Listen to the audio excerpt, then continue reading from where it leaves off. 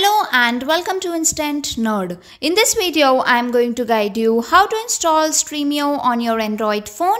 So let's get started with the video.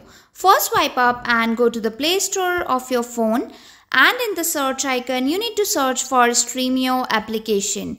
So right now the Stremio application is not available in my region. It can be available in your region. So what you can do is click on that and then click on install. So for the ones whose uh, Stremio application is not available onto your region, what you can do, you can open any of the browser into your phone and then in the search bar, you need to search for Stremio APK.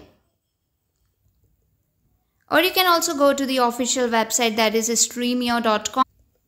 So this will be the result that will come. You need to open the official website here that is downloads and here you can see that under downloads there are various APK that has been provided. You need to scroll down and here you can see there is Stremio 1.6.12 ARM and many others. So what you can do you can download any one of them over here and once you click on that you will get a notification out here that the file can be harmful. Do you still want to download it?